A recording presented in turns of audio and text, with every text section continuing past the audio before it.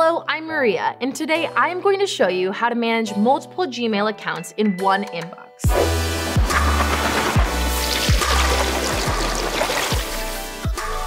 Are you using multiple Gmail accounts for separate projects but don't want to miss any email as it comes in?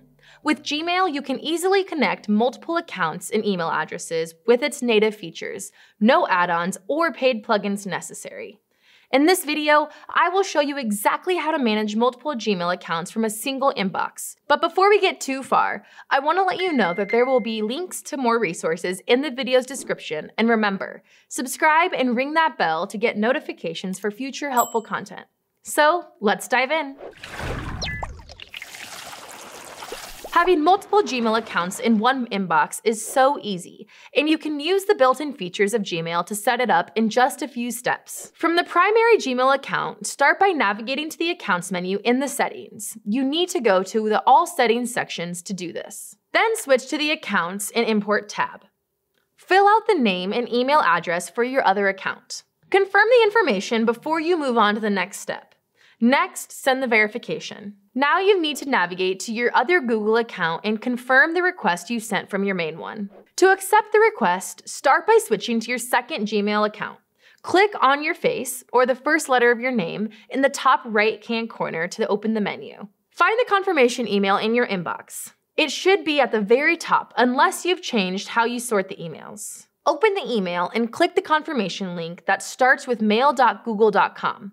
As always, be wary of any phishing links. And finally, confirm the request by clicking the button. That's it. You should now see a confirmation success message. You're all connected.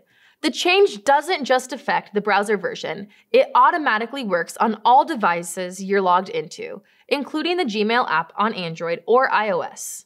Now, all that's left is to test that it works. First, Click the Compose button to create a new email message. Click the From area to see if you can select another email besides your main one. If you can see a drop-down menu or multiple email addresses, it worked. That's the first part. Now you know you can send emails as your alias. But how about receiving them? To test that, you need to send an email to the new address and check if it shows up. If you can see it, that proves the connection beyond any reasonable doubt. Success! The email shows up even though addressed to a different account. You've officially confirmed that you have multiple Gmail accounts in one inbox, and all without multiple sign ins or any extra effort. Now, all you have to do is rinse and repeat these three steps for as many accounts as you'd like. You no longer need that long list of passwords.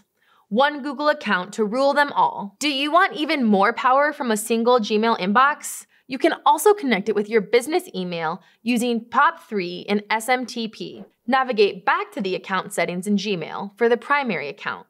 Then click the Add Email in the Check Mail from Other Accounts section and type in your email address to continue. If it's your business email address from your hosting provider, you need to connect it with POP3.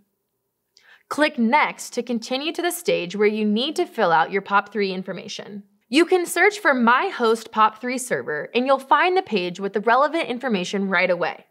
You can also log into your hosting dashboard and find the information there. In cPanel, the information looks like this. Make sure you tick the Always Use a Secure Connection box and choose the appropriate settings. If you entered all the information correctly, you should see this confirmation message. If you want to send the emails, not just receive, you need to repeat the steps, but this time for SMTP and outgoing email. If so, keep the yes checked. Click the Next button. Fill out the relevant fields, choose the right port, and click Add Account. To finalize it, visit your business email inbox and click the link in the confirmation email. Now that you're receiving emails from multiple Google accounts and maybe even your work email, the inbox is probably a lot to handle. So now we'll show you how to organize them into different folders to make your email inbox easier to browse. Switch to the multiple inbox view by opening the quick settings and clicking the customize link under multiple inboxes. Then, you'll want to single out email addresses by using the to email address at gmail.com filter. That will sort emails by the recipient and you can give each new section a name. Scroll down to save the changes to the new settings. You should immediately see the new layout.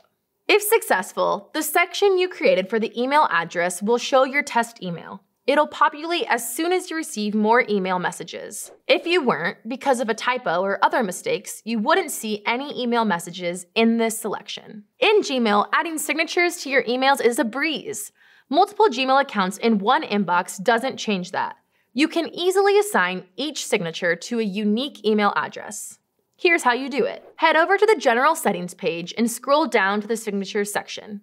If you don't have any, create a new one and choose an easily identifiable name.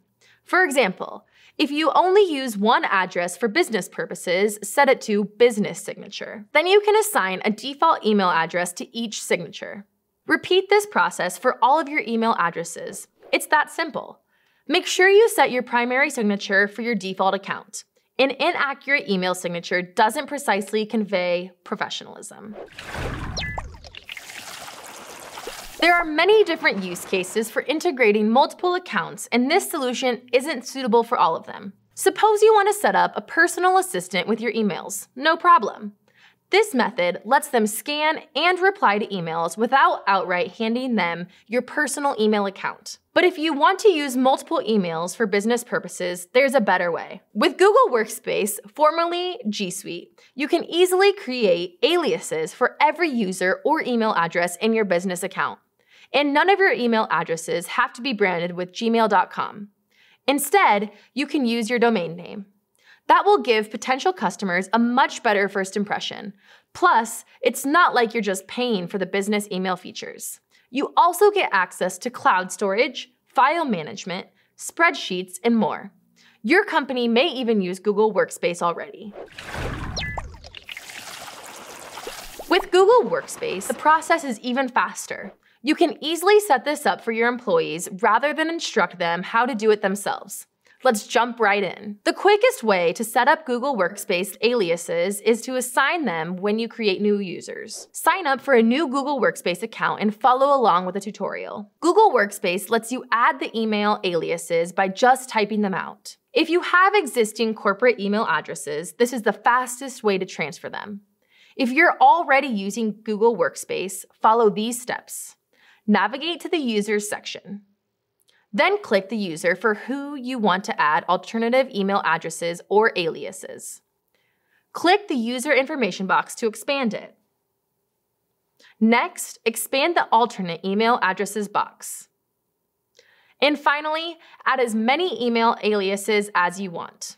Once set up, you can precisely use these aliases from your Gmail inbox as demonstrated in the previous section. Every Google Workspace, formerly G Suite, user can have up to 30 aliases. That makes it easy to address all email addresses from administrative work to a specific person. Even if your startup only has one assistant, you can still convey a large organization's image. Just set up different emails to match the various departments and requests. For example, you can have custom emails such as accounts at domain.com, billing at domain.com, support at domain.com, and marketing at domain.com. Take full advantage of that.